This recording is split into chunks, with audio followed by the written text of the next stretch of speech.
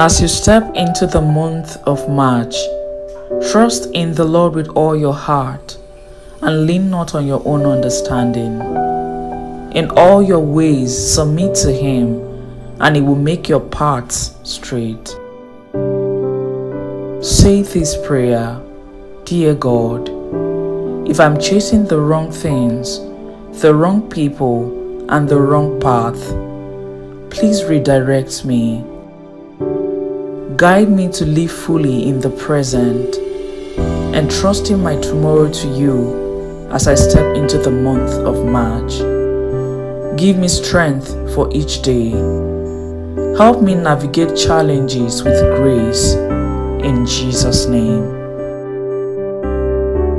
In the month of March, always remember if God brought you to it, He will bring you through it.